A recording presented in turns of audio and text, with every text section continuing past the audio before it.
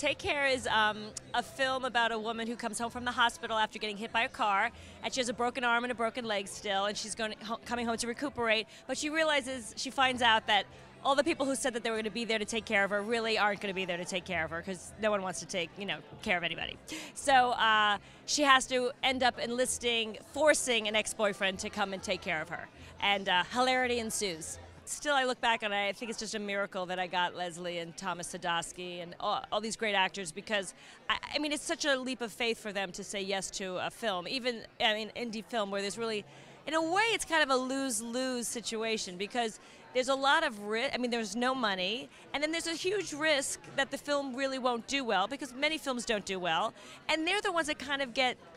the blame. Like they're the ones sort of like out in front that gets the sort of heat if it doesn't if it's not received well